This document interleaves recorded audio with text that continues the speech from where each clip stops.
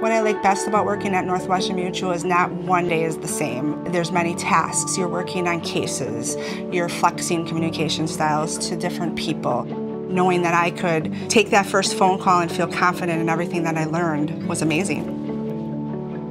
I think the best part about working from home is I can start my day, have my cup of coffee, send my kids off to school, not have that long commute, and walk into the next room and their work is I sit down and start my day.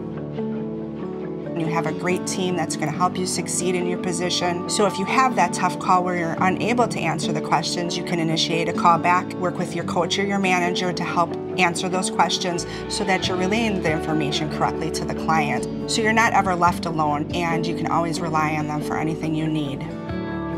I just love what I do. I love working with the customers. I love providing customer service and just them saying thank you is amazing to me that you know you made their day.